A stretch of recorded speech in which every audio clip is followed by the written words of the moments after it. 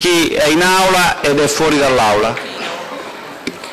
Guardi Presidente, intanto è molto difficile iniziare una discussione senza nessuna presentazione della proposta di legge.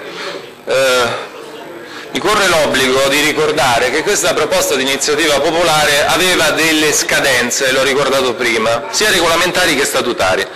Entrambe sono state diciamo, superate, eh, quindi facendo stare questo Consiglio fuori dalla legalità. Adesso stiamo sanando questa legalità in un modo che, secondo eh, il nostro gruppo della lista Bonino Pannella,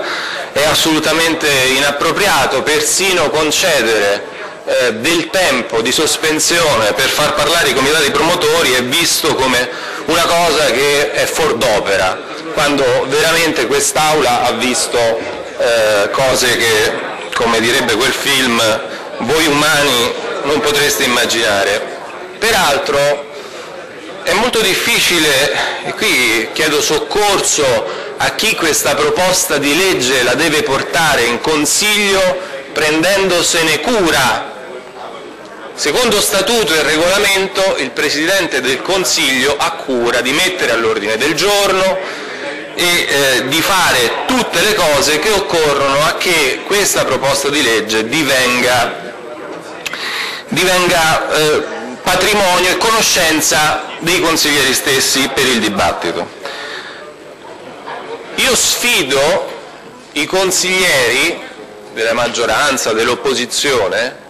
sfido i consiglieri a dirmi come opera questa legge, questa proposta di iniziativa popolare. Lo chiederei anche alla Giunta, visto che per assenza l'11 gennaio scorso dell'assessore Di Paolo siamo stati costretti a rinviarlo. Ora mi pare, eh, diciamo, per deduzione logica, quel rinvio tutto politico e tutto eh, significava, fuorché l'assenza dell'assessore Di Paolo, ma far votare prima il piano dei rifiuti e poi discutere questa legge in modo tale da in qualche modo eh, respingerla, perché questo mi pare l'orientamento della maggior parte dei consiglieri, quelli di, di maggioranza. Spero di sbagliarmi, però guardate,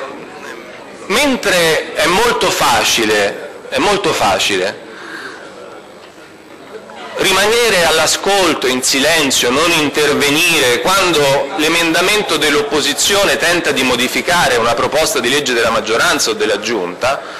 io però vorrei a questo punto ascoltare anche le voci dei consiglieri di maggioranza su cosa pensano delle firme, delle decine di migliaia di firme a sostegno di questa proposta di legge. Noi in Commissione non abbiamo potuto discutere contestualmente del piano dei rifiuti presentato dalla Giunta e della proposta di iniziativa popolare, per questo i comitati sono stati costretti a chiedere il passaggio in aula, ma se il passaggio in aula alla fine ci porta a non avere neanche diciamo, la possibilità di una discussione seria sull'argomento, è veramente sì questa una presa in giro dei cittadini. Eh beh, nel, chi dovesse leggere la proposta di legge scoprirebbe che si vuole far diventare legge, i cittadini ci chiedono di far diventare legge la possibilità che il sistema del ciclo dei rifiuti sia all'interno del cosiddetto porta a porta, quello davvero porta a porta, non, che, eh, non la raccolta che c'è su strada che come sappiamo costruisce una malagrotta sotto la nostra casa dove i cassonetti posizionati eh, in batteria raccontano qual è la percentuale che la Regione, i Comuni di fatto costringono a far diventare tal quale, abbiamo sempre quei quattro cassonetti eh, neri e poi solo uno blu e uno bianco, a dimostrazione che l'80% della raccolta avviene in modo indiscriminato, senza differenziazione, buttando tutto lì dentro, il sacchetto contenente qualsiasi cosa, mentre nei cassonetti successivi, quelli del 20% rimanente, ci dovrebbe stare della carta o eh, vetro e plastica. Però chi va a vedere come vengono poi utilizzati questi cassonetti scoprirà che quelli sono pieni, quelli dell'indifferenziata, mentre quelli della differenziata sono completamente vuoti.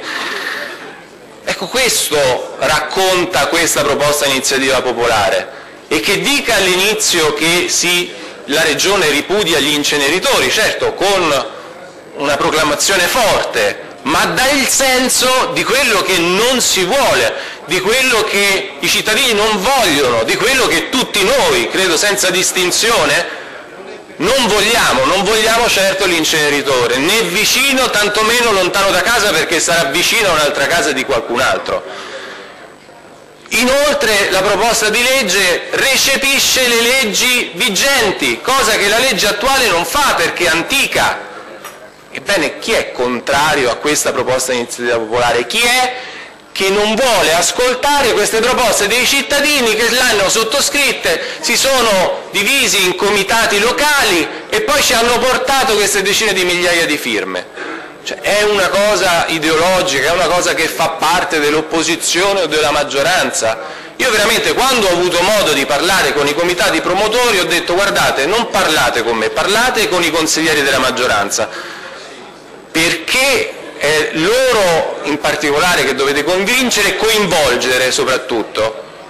Coinvolgere una discussione, ma se poi addirittura nei termini di una sospensione vi arroccate come se fosse una questione che eh, diciamo, impedisce alla maggioranza di dire chissà cosa, beh, è veramente una cosa che eh, poi i cittadini, credo che di 10.000, di oltre 10.000 persone che hanno firmato quella, quella eh, proposta di iniziativa popolare ce ne siano una buona parte che ha votato le liste che compongono la maggioranza. Perché non è che quando uno trova un tavolino per strada che dice passiamo dalla raccolta indifferenziata fatta in questo modo a una raccolta porta a porta, un cittadino che ha votato il PDL non la firma quella proposta di iniziativa popolare, o a un cittadino che si chiede non fate l'inceneritore, non fate una politica che poi fa cadere tutto sugli inceneritori, il cittadino del PDL, dell'UDC o della destra dice no, io sono per gli inceneritori, non, non ve la firmo. Ma no,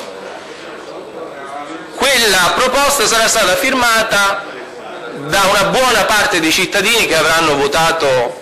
il PDL, la lista Polverini e gli altri. Ora noi arriviamo alla discussione generale di questa legge in cui ciascuno di noi l'avrà letta per come ha potuto, senza averla potuta recepire da chi l'ha scritta. Credo che sia anche diciamo, eh, una necessità capire, per esempio, come opera questa legge. L'articolo 1 dove va a operare, l'articolo 2 dove va a operare, come si modifica la precedente se ci fosse stato il presentatore ce l'avrebbe potuto dire, invece non è possibile. Non è possibile perché in quest'Aula alla fine entrare, può entrare il garante dei detenuti, possono entrare persone per visitarla, sedersi, parlare. Nella Camera dei Deputati, nel Senato della Repubblica possono entrare persone che non sono senatori o deputati della Repubblica, hanno fatto persino opere, sono entrati musicisti per suonare, a testimonianza che questo è un luogo sacro, ma è un luogo sacro non perché nessuno ci deve entrare, è un luogo sacro per tutti, per tutti i cittadini, perché è qui che si scrivono e si votano e diventano norme che regolano la vita dei cittadini quelle che vengono proposte, ma sospendere i lavori per consentire ai comitati promotori di dirci da cosa sono stati mossi per raccogliere queste firme, beh, sospendere i lavori vuol dire fare entrare come entrano qui dentro cittadini che operano e lavorano in questo Consiglio regionale, poter consentire a quest'Aula di conoscere le ragioni che sottostanno a, a, a, alla presentazione